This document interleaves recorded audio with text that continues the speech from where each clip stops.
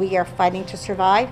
And I think opening up and letting some of these mandates go will bring people back. Many rules and restrictions have been implemented in the country over the course of the pandemic.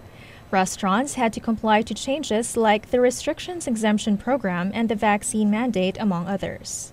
We've put $5,000 into sneeze guards. I don't think they've done anything, but we had to do it to save our business again.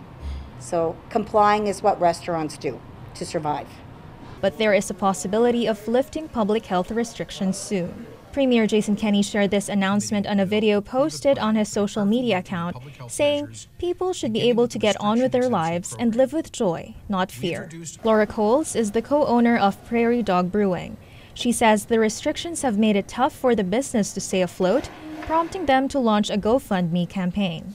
Our service levels have fluctuated so much. We're, we're down about uh, 50% of what we would normally be right now for having guests in the door. So we've had to cut our labor hours back. The GoFundMe is specifically to get us over this last hurdle. Calgary is still the region with the highest number of active COVID 19 cases in the province, but Coles believes some restrictions can already be lifted.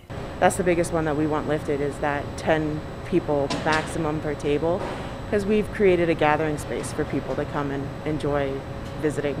The province is being asked to now prepare for an endemic approach to manage COVID 19 now that the daily case count is decreasing. For SAIT News File, I'm Camae Marayag.